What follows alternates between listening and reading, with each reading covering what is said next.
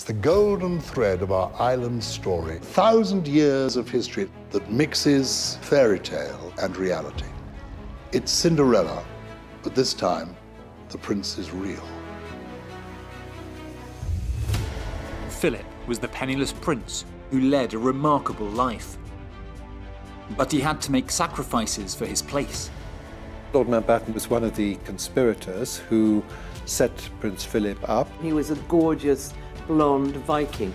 You can see why a young girl would fall in love with him. They changed his name, they changed his religion, they put him into the British Navy, and they made him a British citizen. He didn't like the setup at Buckingham Palace. His quest for control brought strain.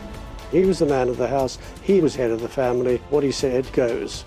And his legacy proved his biggest challenge. Charles wasn't the man that he wanted him to be, and that used to really rile him. I would describe him as a great man's man. Prince Philip belonged to the generation where you don't complain about your childhood, you just get on with life. These are the cards you'll be dealt with, you play the hand you've got. This royal outsider carved a place in history and redefined the royal family. He was very much the power behind the throne. In recent years, the Queen has lost her mother and her sister, and the third member of the Trinity was Prince Philip. Basically, since the age of 13, she's been in love with this man.